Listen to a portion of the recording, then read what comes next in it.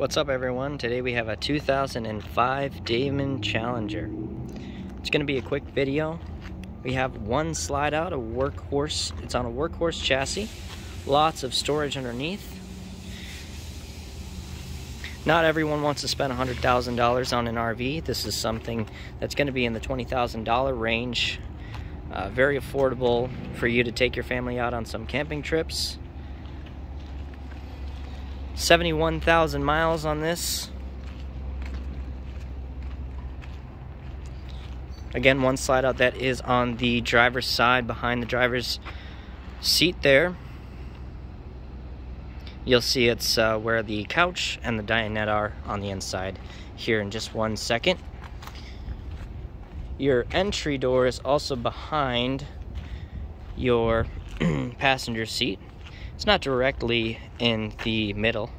I guess you would consider that a middle entry door, but it is a little bit closer to the passenger door there than dead center. So let's take a look inside and see what we got.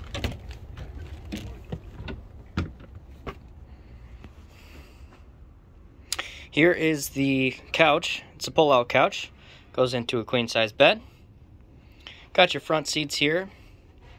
71,000 miles on this RV. You have your automatic leveling jacks there.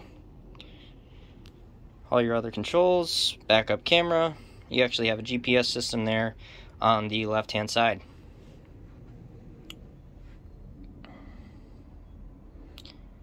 You actually have some dash storage, I believe, there, which is definitely different. You don't usually have dash storage in most RVs that is your slide out there that has the couch and the dinette there if you can see the outline of it. That's it on the inside. Opposing from that is the kitchen.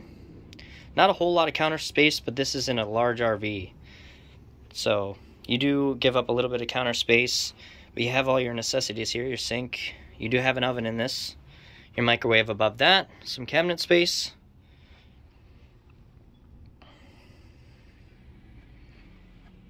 You do have a lot more storage for clothes in the back here.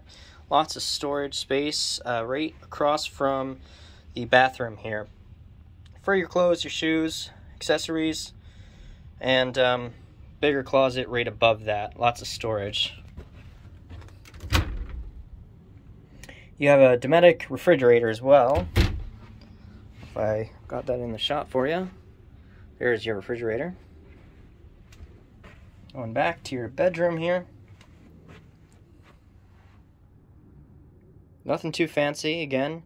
Um, not a $100,000 motorhome, but something perfect for camping.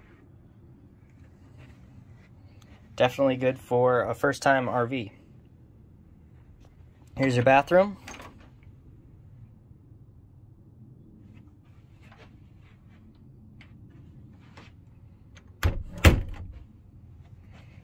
All your controls there, your slide out, your gray water leveling, and all that uh, good stuff there. Climate control. This RV does have two AC units. You have one up there in the front and one right above the bed back there. Alright guys, I guess that concludes it here. If you have any questions, please leave a comment and uh, I'll try to get back to you on that comment. Also, if you have any direct questions about this RV and specific, specifically and purchasing it, um, feel free to send an email to the email listed in the description. As always, thank you for watching.